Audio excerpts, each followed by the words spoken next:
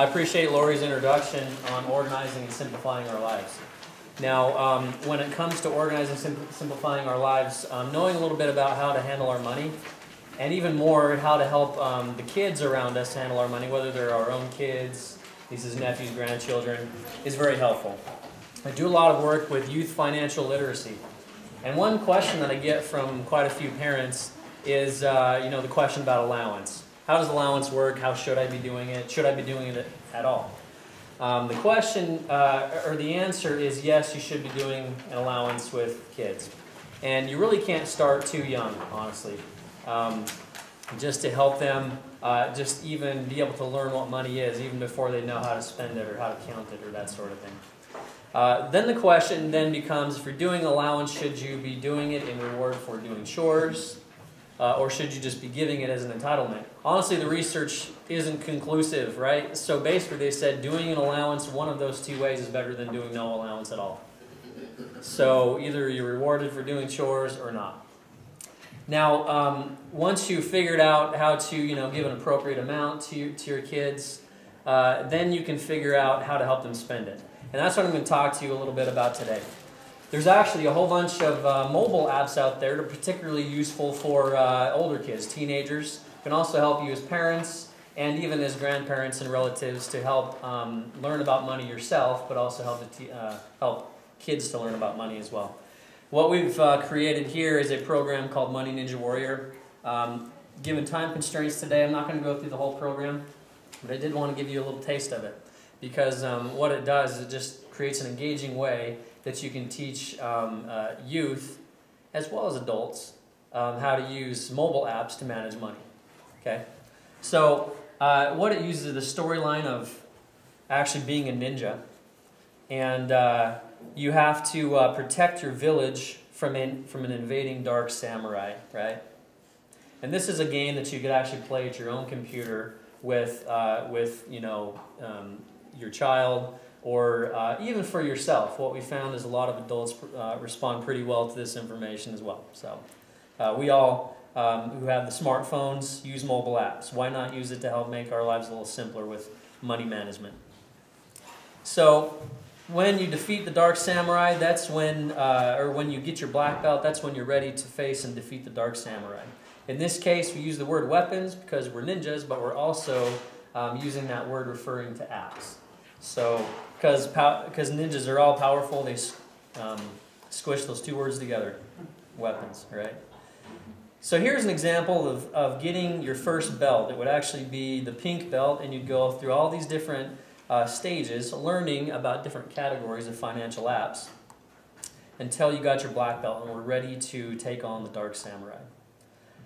Now at this point you see that our first weapon is called the Fan of Family Fortune. It doesn't look very intimidating, but uh, uh, don't be confused because it can be a very powerful tool. These are allowance apps, what I was just talking about, how we can make our lives a little simpler by uh, even as parents or as kids just uh, managing allowance.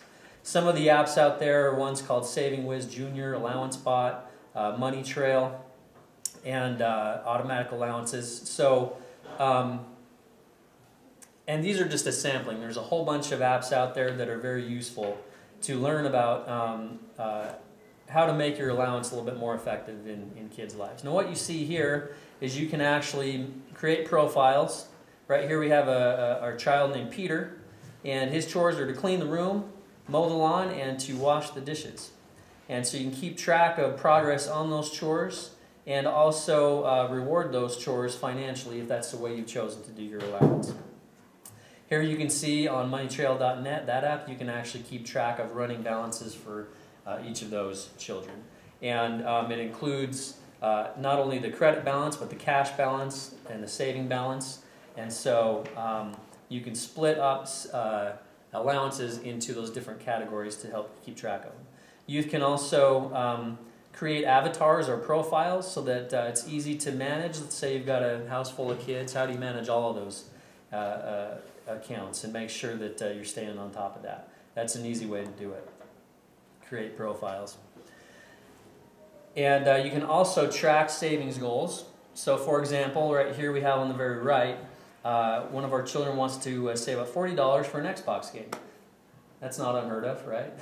Kids like Xbox games or similar type things, $40. But this will help them calculate. You can save $40 in about eight weeks if you do $5 a week. And so it helps them understand and focus those finances on what's really important to them.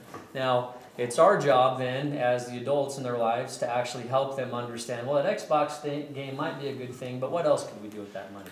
Make sure they understand the opportunity cost of those decisions.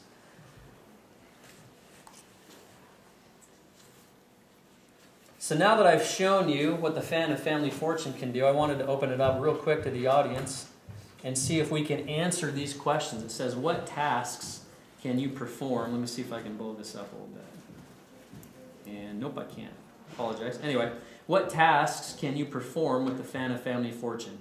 So I'm going to read them out, and I want you as an audience to tell me which of these apply to the Fan of Family Fortune, the app category we just discussed. First one is track your child's allowance. Is that true? Yes. Yes, okay. How about track your checking account? Okay. Give your children chores through your phone. Yes. Okay. Kids can track their savings. All right. File your tax forms. Okay. Play financial games. Yes and no. Yes and no. I need a, you know, there's no yes or no here, so. Yes. Yes? Okay. Let's try it. I'm sorry, that is not correct. I want to do that for fun, just to show you that, uh, you know what, it's okay, you get a retry. Oh, and I just skipped the review screen, but that's okay. I'm going to help you out a little bit on this one. This one, um, you actually don't really get to play financial games, and it does look fun, but it's not necessarily a game. The reason why that is an option is because the next weapon category is actually financial games. There's a whole bunch of uh, apps out there uh, that are actually games that help you learn about finances. And when I say you, who am I talking about? Well, it could be youth, could be um, youth users, but it could also include uh, adults. I know that uh, many of the apps that um, I've taught in here for youth audiences, I've used myself, and they're still very effective and fun to use. So let's go ahead and uh, give your children chores through your, through your phone. The very top one. Yeah, and you're right. I, I was trying to talk and think at the same time. It wasn't working. So, and kids can track their savings. There we go. I think they're all right in a row there. Hopefully, I don't get it wrong in front of everybody. So, congratulations, you got your pink belt. So that was just one category of financial apps that there are out there, and there's actually a whole bunch more that I think can be very useful. Um, uh, again, to all of us, but uh, to our youth especially. And again, this this uh, program is not quite available for the public, but in a few weeks or about a month, we're going to have our website up and ready to deliver this and other uh, youth financial literacy programs. If you're interested in that, um, you can come contact me. If Katie has your contact information, she can share it with me as well. And we can make sure that you're uh, aware of that when it's available. At this point, I'm out of time, but uh, if there are any questions, I'd be happy to take any.